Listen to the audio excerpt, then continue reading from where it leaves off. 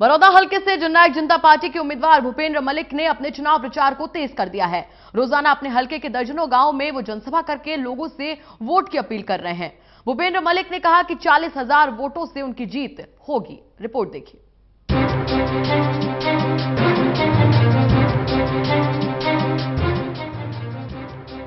विधानसभा चुनाव को लेकर लगातार प्रचार प्रसार किया जा रहा है। प्रत्याशियों की ओर से प्रचार में पूरी ताकत छोड़ती है। बड़ौदा से जेजेपी उम्मीदवार भूपेंद्र मणिक ने रोज़ाना दर्जनों गाँव में जनसभा कर लोगों से वोट की अपील कर रहे हैं।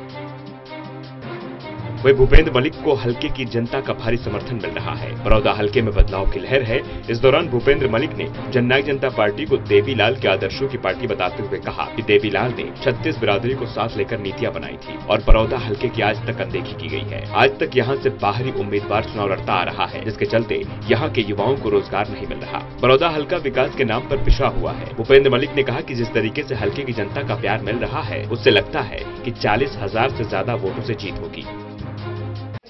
जननायक जनता पार्टी, चौधरी देवलाल के आदर्शों की पार्टी।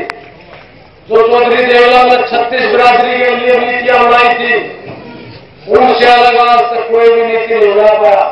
चाहे पेंशन की थी, चाहे गरीब को पढ़ाई देने की थी, चाहे गरीब के बच्चे को स्कूल में जाने पर मुनीफा देने की चौधरी देवलाल ने रुपया प्रति देने की स्कीम शुरू करी थी।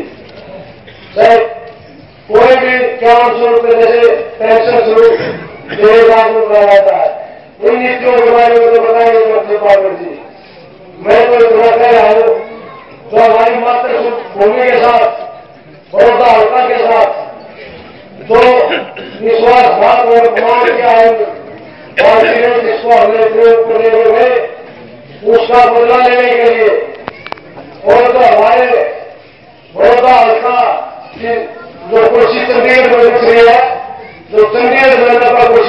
है उसमें तो बाहर का लंबे समय से पता लगाया बैठा है।